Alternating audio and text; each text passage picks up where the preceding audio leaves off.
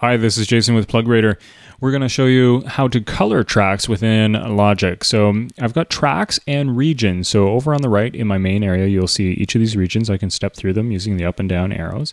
And we also have tracks on the right. So then if I go to my mixer page, which is Command 2 in a new window, you can see that there are colors down below and your output is a different color and your master is a different color as well. So to keep your session organized, one of the best ways to do this is to color your tracks. So I'm going to take all my drums. You can see I have um, 1 through 8. I'm going to select all and press Z. There's a fancy key command. And then this allows me to go over and select all my drums from the side. See, so I'm selecting the drums down the side. That's one way of doing it.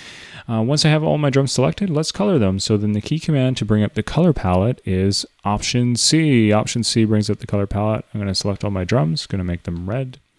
And then the bass, uh, we'll make it a different color. We can select the different and, oh, pardon me. Uh, let's grab a couple other regions. And these are the electric guitars. I could make them various colors, but I'm going to just group them nice and fast and simple. Selecting them, uh, the pads are in pairs. So then let's grab those. Simple color. And remember, that's option C. I'm to grab my vocals and make them hot pink. There they are, nice hot pink. I'm to close the color palette. I don't have to press close. I'm to hold down option and press C. And there's the colors for the tracks. Way easier to organize, easy on the eyes. You can see all your drums are grouped as a color. All your electric guitars are grouped as a color, and you could do variations of this uh, as uh, you wish. There's no specific way to do this. Now what I have to do is color my tracks. So I'm going to select all, and I could go down here. Now, there is an area under uh, functions, I believe. Let's take a look. There it is.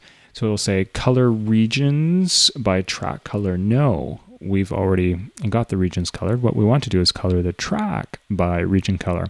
And if you look over here, what you'll see is a key command. It says Option Shift Command C. So I could select this with my mouse, but that would be the primitive way to do it, or I could hold down Option uh, Option Shift Command C. There we go. And then you can see as soon as I execute that key command, you'll see all the tracks down the side are now the same color as my regions, which keeps things nice and neat and organized.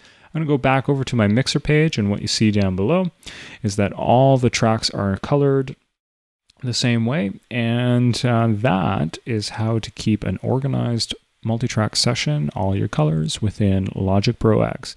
This is Jason Chapman for PlugRater. Thank you for uh, watching. Please check out our other videos and check us out online at www.plugrater.com.